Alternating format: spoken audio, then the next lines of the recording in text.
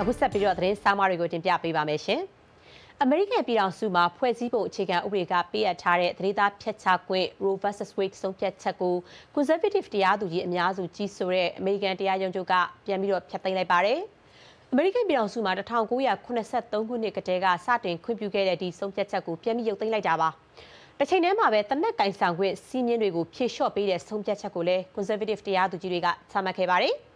လက်နက်ကင်ဆောင်ခွင့်အပေါ်ပိုးပြီးထိန်းချုပ်ဖို့ကွန်ဂရက်လွှတ်တော်နဲ့သမ္မတဂျိုးဘိုင်ဒန်တို့အတည်ပြုလက်မှတ်ရေးထိုးထားတဲ့ကြားမှာကိုပဲတင်းကျပ်တဲ့စည်းကမ်းတွေကိုရှော့ပေးဖို့တရားရုံးချုပ်ကဆုံးဖြတ်လိုက်တာပါ။အဲ့ဒီနောက်မှာတရေသားဖျက်ချခွင့်ကို6မဲ3မဲနဲ့တရားရုံးချုပ်ကပြန်ပြီးဖျက်သိမ်းလိုက်တာလည်းဖြစ်ပါတယ်။ VOA သတင်းကြား Arish Arabasadi ပေးပို့တဲ့သတင်းကိုတော့ကိုအောင်ကပြောပြပေးပါမယ်ရှင်။ဒေသဖြတ်ချခွင့်ပြန်ရုပ်သိမ်းလိုက်တဲ့တရားရုံးရဲ့ဆုံးဖြတ်ချက်ကိုမကျေနပ်သူတွေကအမေရိကန်တရားရုံးချုပ်ရှေ့မှာဆန္ဒပြနေကြတာပါ။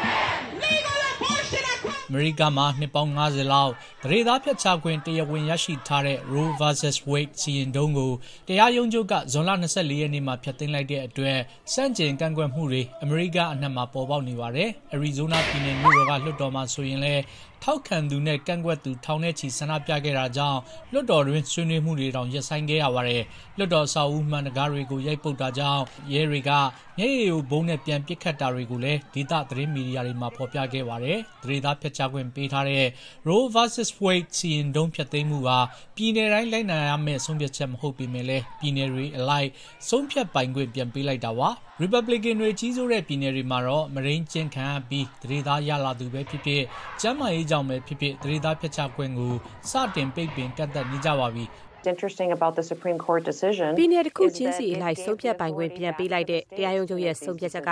စိတ်ဝင်စားစရာကောင်းတာပါ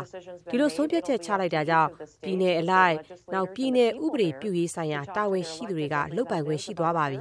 ပြည်နယ်မှာနေထိုင်နေကြတဲ့သူတွေနဲ့ သူတို့ရွေးကောက်တင်မြှောက်ထားတဲ့သူတွေကြားဖြစ်စေချင်တာတွေကိုဆွေးနွေးဖို့ပဲရှိပါတော့တယ်။အမေရိကမှာလူအများပြားတည်ဆုံးတဲ့တနက်ပစ်ခတ်မှုတွေကိုတားဆီးဖို့ပါတီနှစ်ရပ်လုံးကလွှတ်တော်အမတ်တွေနဲ့သမ္မတဂျိုးဘိုင်ဒန်တို့က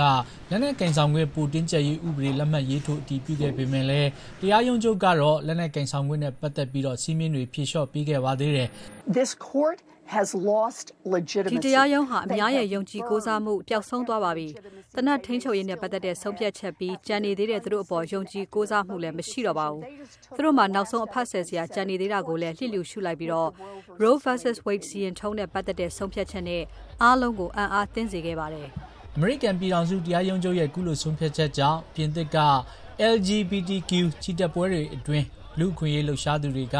နှစ်90ကြာရရှိထားပြီးဖြစ်တဲ့ဒရေသားဖျက်ချခွင့်ကိုမထိပါဘူးပြင်သစ်အစိုးရကိုတောင်းဆိုကြပါတယ်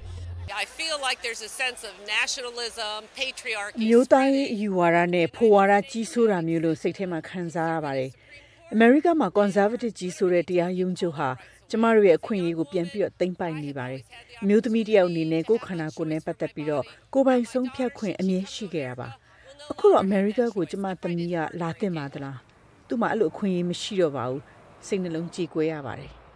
ရေသားဖျက်ချခွင့်တားဆီးမှုထောက်ခံသူတွေကတော့အောင်ပွဲခံခဲ့ကြပါတယ် It's a very exciting moment for အလို့အင်မတန်ပြောရတဲ့အချိန်ပါ